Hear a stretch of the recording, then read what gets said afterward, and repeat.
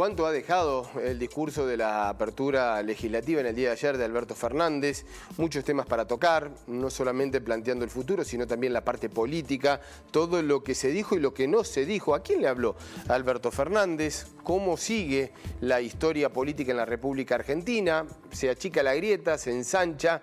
¿Es más kirchnerismo este discurso que el primero que brindó hace un año atrás? Bueno, vamos a estar hablando con Esteban Ackerman, que tiene la gentileza de atendernos. ¿Cómo te va, Esteban? Muchas gracias. Hola, buenos días a todos y a todas. ¿Cómo están?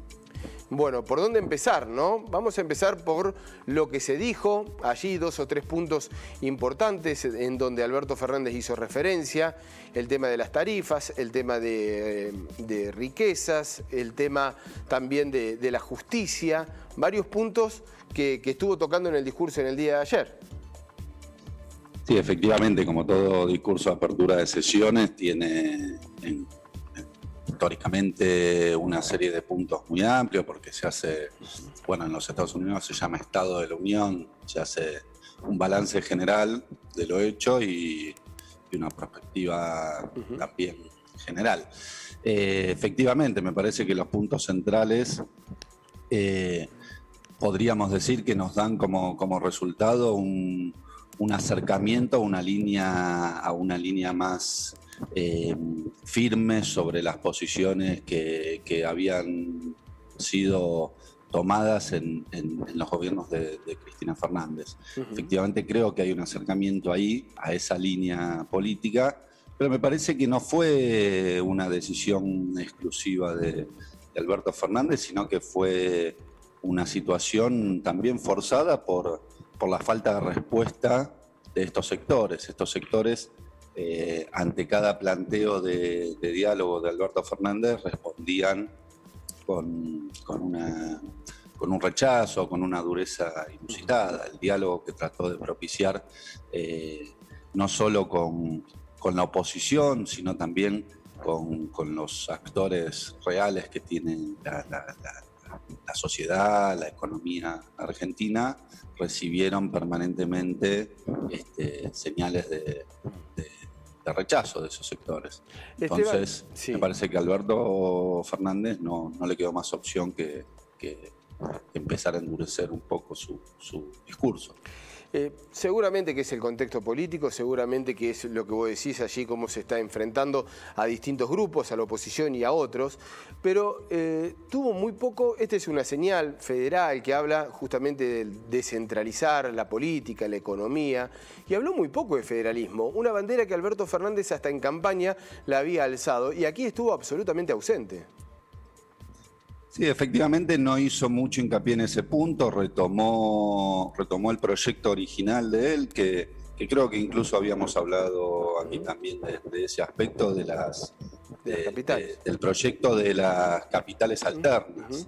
Eh, pero efectivamente ese proyecto implicaba reuniones de gabinete en diferentes puntos del país y todos sabemos que el contexto de su primer año de gobierno, bueno, él mismo lo señaló, 10 días después de, su primer eh, discurso de apertura de sesiones, la Organización Mundial de la Salud decretó la pandemia y 20 días después prácticamente eh, el gobierno decidió iniciar la cuarentena para prevenir los contagios. En ese contexto, hacer ese tipo de reuniones hubiera implicado un riesgo, un riesgo para todos. Pero ahora lo que se podría hablar de una descentralización económica, de una productividad pensando en las economías regionales, es decir, no solamente la presencia del presidente, es más, no hace ni falta eh, del gabinete tampoco, pero digo, con política se puede hacer mucho más y, y estuvo ausente aquí en el discurso, ¿no? En perspectiva de futuro.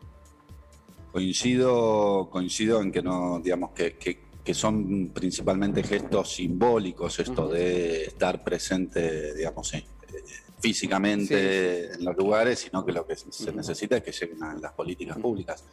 En ese sentido, eh, si bien no hizo mucho hincapié en su discurso, eh, me parece que, el plan de obra pública, a partir de que pudo reactivarse, de que el contexto de la pandemia lo permitió, da cuenta de de, una visión más federal, por lo menos de lo que, de lo que veníamos antes. Coincido que, históricamente, digamos, no, es responsabilidad ni de este, ni del anterior, ni de los muchos anteriores gobiernos, sino que es este, una cuestión cultural histórica que, viene siendo así desde, diría, más un siglo y medio prácticamente, eh, que, es un país bastante centralista. Pero lo que sí se nota, por lo menos en términos relativos, comparándolo con el gobierno anterior, es una mayor federalización de la obra pública. Eso sí eh, se puede ver en los números, digamos. Hay más obra pública, el peso de la obra pública del interior pesa mucho más que em, el peso de, la obra pública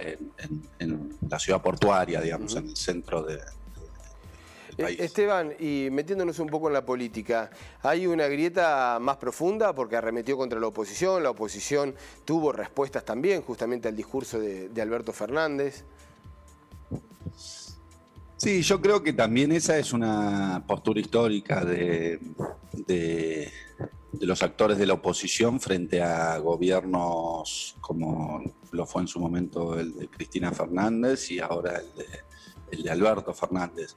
Eh, me parece que es lógico que un presidente haga críticas a la oposición, como es lógico que la oposición haga críticas a presidente. la democracia. No, entiendo. el, tono, conciliador del primer discurso no lo tuvo este. Claramente, claramente el tono conciliador de la primera apertura de sesiones no fue el tono de ayer, pero efectivamente también a Alberto Fernández le toca gobernar en un momento tan particular como el que ya conocemos y que no es necesario profundizar, y en el medio de eso ha habido por parte de esos actores, de los principales actores de la oposición, una serie de iniciativas que atentaban contra la política sanitaria que venía llevando el gobierno. Eso por un lado. Por el otro lado, este, podríamos decir que el anuncio este que hizo de iniciar una causa para investigar la deuda que se tomó durante el gobierno de Mauricio Macri, cuál fue el mm. destino, digamos, cuáles fueron mm. las condiciones en las que se tomó esa deuda. Eh, ese sí me parece un aspecto polémico, pero bueno, eh, la justicia es eh, el Poder Judicial tendrá que tomar la causa y en todo caso, si, considera que no es judiciable, como, como es una decisión política eh, no judiciable, no habrá ningún problema. Se podrá, me, parece que ahí sí ahí hubo una jugada política de Alberto Fernández de levantar a Mauricio Macri en un contexto en el que dentro de la oposición hay una interna eh, entre eh, dos actores, entre Mauricio Macri y Horacio Rodríguez Larreta, que quieren... Eh, sí, posicionarse se, lo que se, puede ver que tienen aspiraciones para el 2023. Esteban, simplemente y, cortito porque nos quedamos sin tiempo, el tema del vacunatorio VIP o el escándalo de las vacunas, eh, bueno, lo mencionó, no mucho más de lo que venía diciendo públicamente, ¿no? No hubo una autocrítica mayor, digo.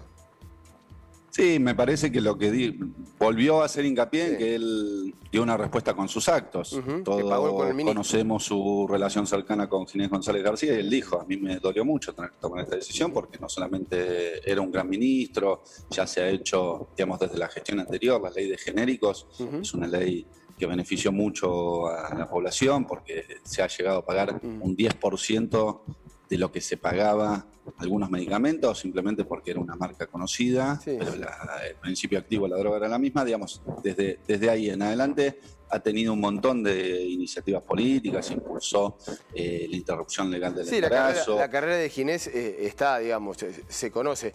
Lo que sí que por ahí no hizo tanta referencia, digamos, dio como por terminado el tema, ¿no? Cuando por ahí todos, digamos, eh, se podría haber esperado otro tipo de, análisis al, tema. Pero bueno, eligió, eligió terminarlo de esa manera. Esteban, muchas gracias por, por este contacto para el Contiradero Federal. Como siempre, muy amable. Muchas gracias a ustedes por la invitación y a disposición. Hasta luego. Cuando guste.